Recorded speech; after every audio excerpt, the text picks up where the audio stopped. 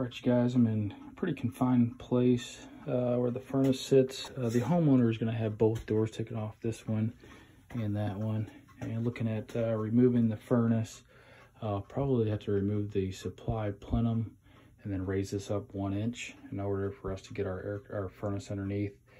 Uh, the current setup, he's got a return drop coming down and then a one inch filter inside here, 16 by 25. And then there's actually a filter rack on the, it's on the other side of this wall, but that comes around the back side, comes over and comes into here. So both sides are being filtered, both sides are actually drawing air. However, um, not the best setup here. So uh, I'm gonna give them some options, see what they wanna do.